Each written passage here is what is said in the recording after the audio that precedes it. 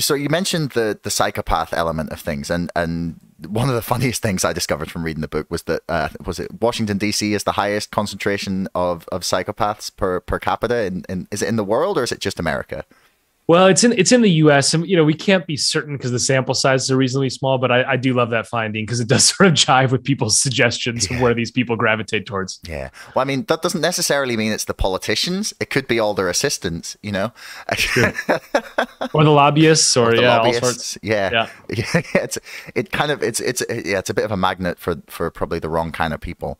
So, uh, what is your assessment of of why um, psychopaths and the people with um, those sort of that that dark triad of personality traits why why do they get drawn to par in in in your understanding?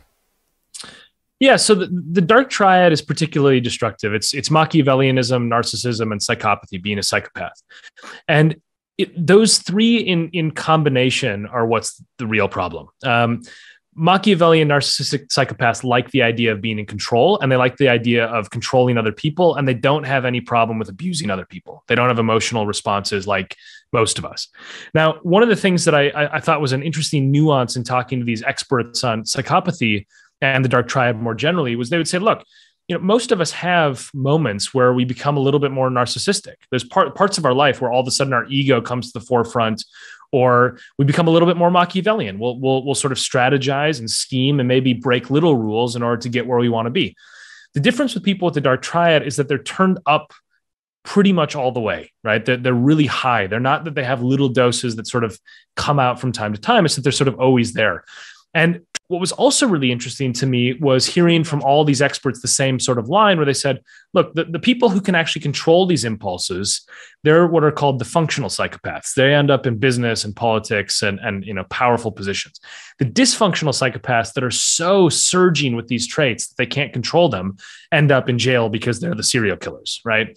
So uh, what, what's what's interesting is you, you don't have the actual all the way up guys in power. You have the close to the all the way up uh, guys in, in, in power.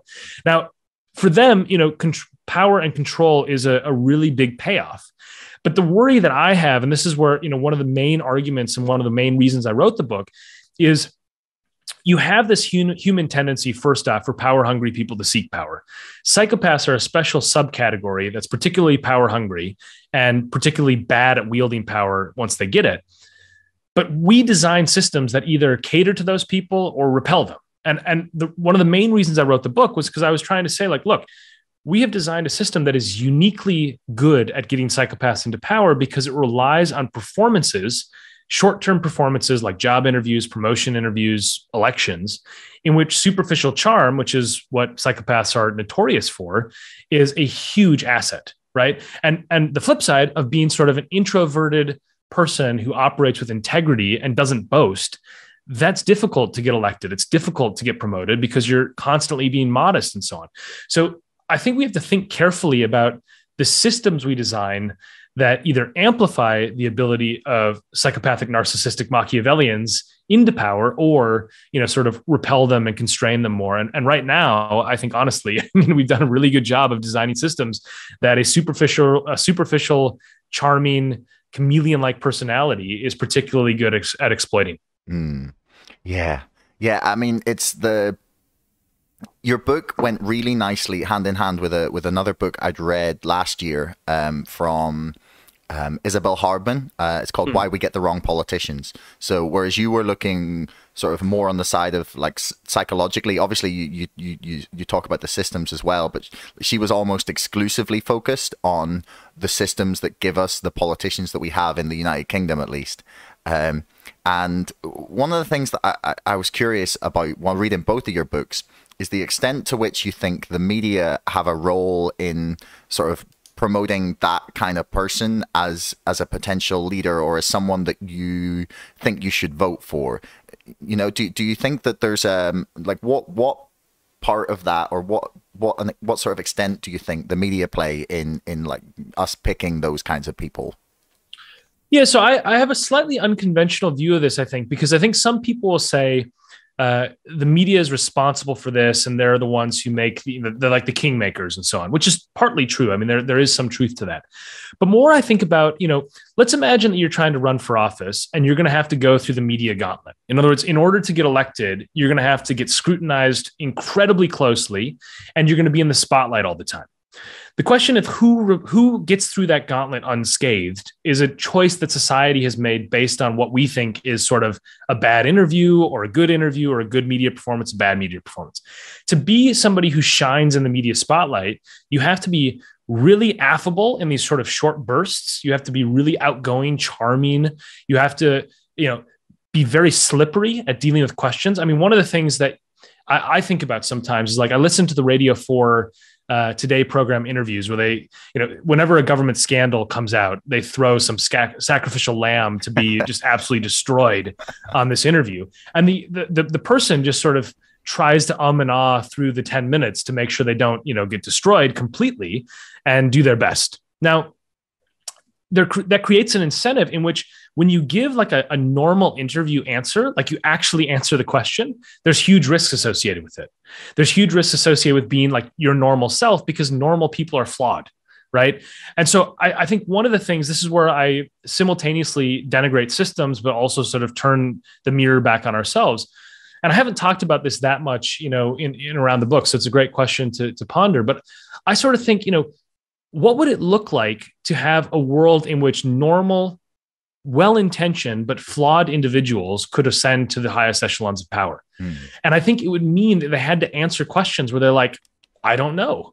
Or they'd have to say, like, gosh, you know, I have changed my mind on that, and it's not a problem, right? I actually I, I saw some evidence, and and so you know some of the ways in which media dynamics operate create incentives for politicians to basically either deny answering questions, you know, refuse to answer a question, or to lie, uh, or to simply put on a face that is obviously false, right? Like it's, it's clearly not actually them. And so I think there's sort of two aspects to it. The easier one to understand is the kingmaker aspect, where media, you know, media does respond. And the Trump example is a perfect one for this, where like, you know, live televising his rallies because they produced good ratings mm. was an unfor- unforgivable choice, in my opinion, uh, especially given that they weren't doing that for the uh, other Republican candidates or for the Democratic candidates at the time. Yeah. So I think you have to be fair and you have to not respond to chasing ratings. But I think you also have to understand that there's this sort of dynamic that we have set up in which, you know, being a human being in the media spotlight is actually potentially destructive for your chances of gaining gaining higher office until that changes. I mean, I think about this, you know, I don't know if this is the case for you, but I I've thought about running for office when I was younger.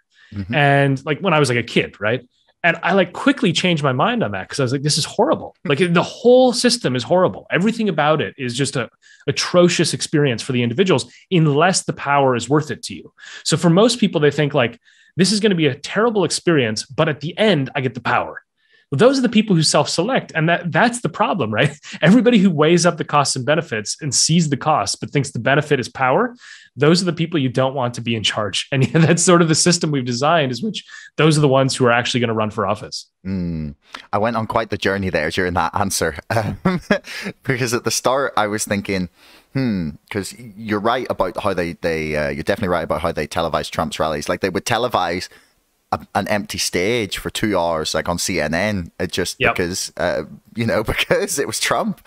Um, uh, and when you were you were talking about their sort of chasing ratings, and I was wondering, first off, is like, is this is this a function? Is it getting worse because the corporate or sort of like the traditional legacy media are are struggling to hold on to eyeballs and and and the mm. audience and i was like is is that what's causing it like maybe the internet makes that better um, but then when you talked about the cost, I was like, no, the internet 100% makes it worse.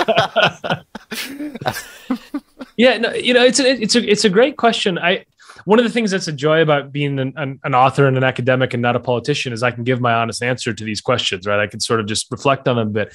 And one of the things that I've been struck by, again, it's, I think it's a mix of both of these things. So I think that like there are, are there are decisions that are made in some media organizations in which they have specific sort of agendas and aims. I mean, you know, looking at Fox News, there, it's quite clear that there is a specific bent to that organization that has a clear narrative line that if you yeah. deviate from it, you might have your show canceled and so on.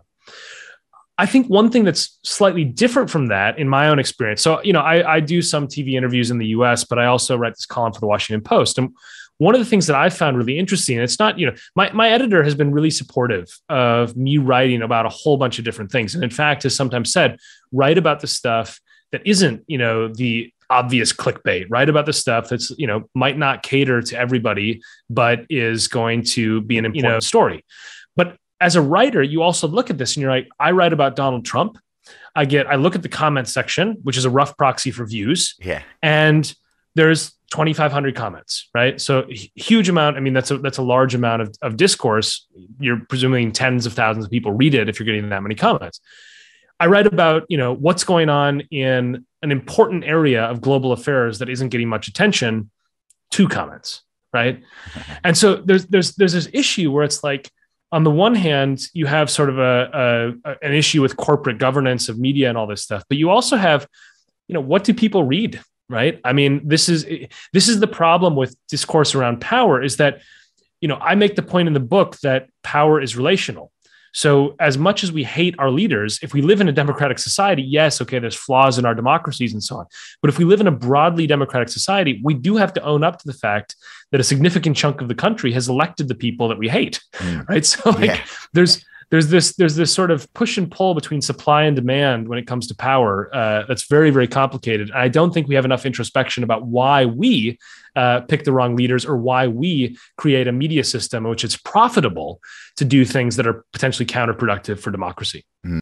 Thanks for making it all the way to the end of the video. Don't forget to like, share, subscribe, and leave a comment for us in the comments below. Let me know what you thought and if you'd like to see more of this from the show. Thank you, and we'll see you again next time.